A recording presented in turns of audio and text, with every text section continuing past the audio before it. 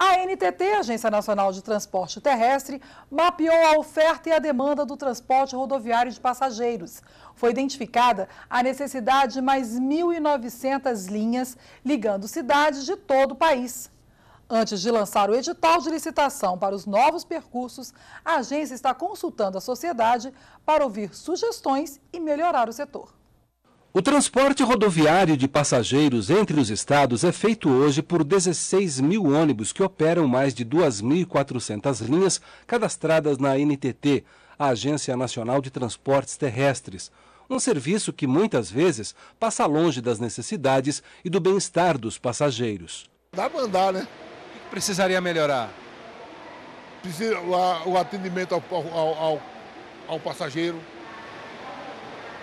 tem hora que não, eles não, não dão uma assistência adequada. Mas quem precisa viajar, viaja. Né? Assento de banco, essas coisas assim, às vezes atrapalha um pouco. Deixa a desejar. A viagem é, não é muito boa não, assim. Essas viagens melhorou, vamos dizer, melhorou um pouco, mas ainda falta muito, né? As poltronas são ruins, o banheiro é péssimo e mal cuidado. Então a gente não tem assim uma água, nada para gente. E eu acho isso péssimo, porque só os banheiros e as poltronas acabam com a gente. Para melhorar os serviços e as condições desse transporte, a NTT fez audiências públicas nas maiores capitais do país. O setor e a sociedade civil foram ouvidos e apresentaram propostas para corrigir e superar o que, para os usuários, não anda bem no transporte interestadual de passageiros. As contribuições também chegaram pela internet. Entre as principais mudanças, as empresas de transporte terão de apresentar novas linhas para cidades que ainda não são atendidas pela rede atual. Vai aumentar a concorrência para a operação de serviços.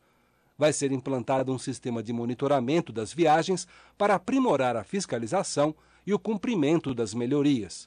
Com as novas regras da Agência Nacional de Transportes Terrestres, o coeficiente que define o valor das tarifas vai sofrer uma redução de 11%. Isso vai representar um impacto direto com diminuição dos preços nas passagens dos ônibus interestaduais.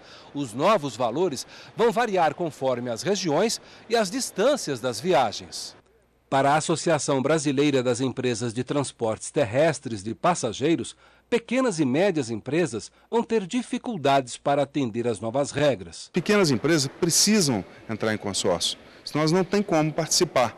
Elas não têm porte, não têm muitas vezes capital para participar de um lote, é, de, é, disputar um lote inteiro. Os lotes são grandes.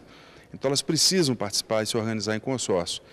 É, da forma que está disposto na, nessa organização de lotes que a NTT propõe, conjugado com a legislação brasileira, elas muitas vão ficar cerceadas da forma que está. Obviamente, nós vamos fazer nossas sugestões e esperamos que elas sejam acolhidas. Para participar da licitação, as empresas não poderão ter ônibus com mais de 10 anos de uso. Hoje, no sistema, para você ter uma ideia, nós temos ônibus até de 30 anos. Então, ônibus de 10 anos é, é, o, é o tempo que a NTT e que os estudos demonstram que são tempos para que o investimento seja retornar, é, haja retorno e que ainda são veículos confortáveis, capazes de atender todas as especificações e atributos que a NTT exige.